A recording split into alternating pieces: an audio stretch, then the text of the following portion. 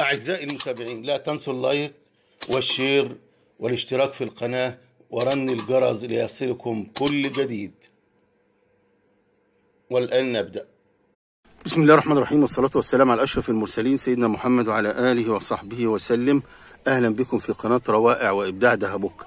النهاردة يا جماعة هنتكلم في حاجة بسيطة وجهاز بسيط كلنا بنستخدمه وموجود في أغلب بيوتنا.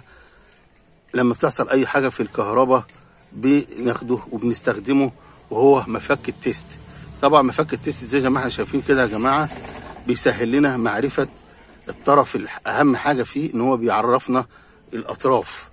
أطراف الكهرباء عايزين نوصل لمبة عايزين نوصل فيشة عايزين نوصل أي حاجة عايزين ناخد فردتين السالب والموجب. مش عارفين يا جماعة ناخد إيه ممكن ناخد فردتين يطلعوا الاثنين موجبين أو يطلعوا الاثنين سالبين. فطبعا مش هيدوني كهرباء مش مش هتشغل حاجة عندي. لازم الكهرباء عشان تشتغل سالب وموجب. طرف حي اللي هو اللي فيه كهرباء والطرف الميت أو الطرف السالب اللي هو اللي ما فيهوش كهرباء. عشان نعرف الطرف اللي فيه كهرباء يا جماعة بمفتاح التيست زي ما إحنا شايفين كده. أهو. بصوا يا جماعة. ما نورش. أهو كده.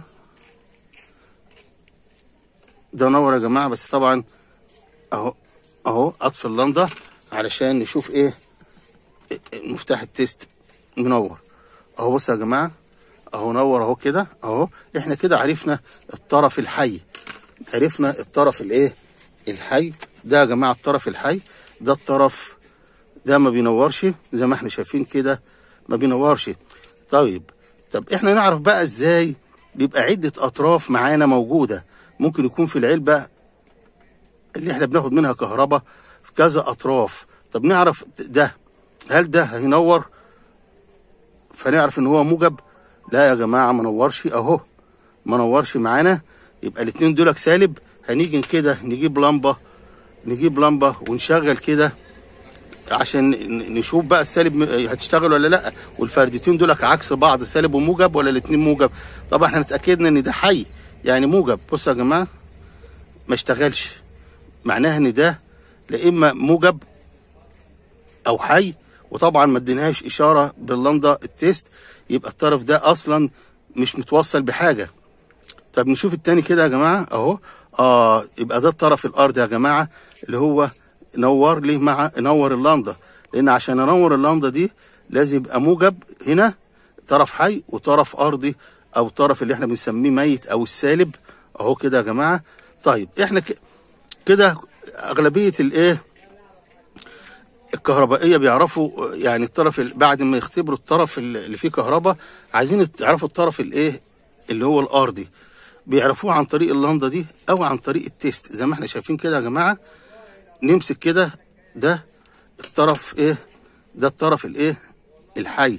زي ما إحنا شايفين كده أهو. وهنيجي نوصله بالطرف اللي هو الايه؟ اهو بصوا يا جماعة نور إزاي؟ أو ممكن نعكس. الطرف اللي إحنا مش عارفينه ده إيه؟ سيء حي أو موجب؟ اهو. طبعا نخلي بالنا من الكهرباء ونكون معزولين عن الأرض وما لم... يا ريت ما نلمس الجزء ده وإحنا بنختبره. طبعا لازم يكون تحتنا حتة خشبه أو عازل أو جزمة فاصلة زي ما إحنا شايفين كده يا جماعة اهو. نور.